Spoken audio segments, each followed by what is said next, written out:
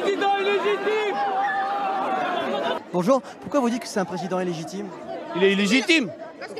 Il y, a, même- il y a- il y a trois quarts des Français qui n'ont pas, qui ont pas marché pour lui. 58% des Français qui démocratiquement l'ont élu.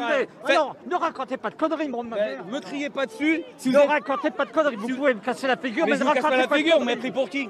Vous ne, rac- ne racontez pas, il a été voté légitimement. Il est C'est la. Constitution qui est comme ça. qui est légitime pour vous? Alors qui c'est qui est légitime aucun, Et aucun, alors, alors, aucun. alors, vous voulez l'anarchie Ah, Donc on reste soumis. Alors vous Donc, mais on n'est pas soumis. on n'est pas soumis. Mais vous rigolez ou quoi Vous rigolez, c'est vous qui rigolez. Voilà, allez le soutenir. Non mais entendez des conneries pareilles. Et donnez votre bulletin. Qu'est-ce qui vous énerve autant Mais attendez, il y a une constitution, il a été élu, point final, il faut respecter les règles du jeu, merde. On a le droit de dire qu'on n'est pas d'accord. D'accord, mais pas dire ce que vous avez dit tout à l'heure. qu'il est illégitime. Il est illégitime. Mais il n'y en a aucun qui est légitime alors, hein, selon vous. Selon vous, il n'y en a aucun. Donc, donc pour vous, parce qu'il n'y en a aucun, on doit, pas- on doit on plier n'est pas, le on n'est pas des moutons. Un anarchiste, c'est normal. Non, mais On n'est pas des moutons, mais suivez il y tous. a une constitution, il est élu, point final. C'est un anarchiste, Non mais alors.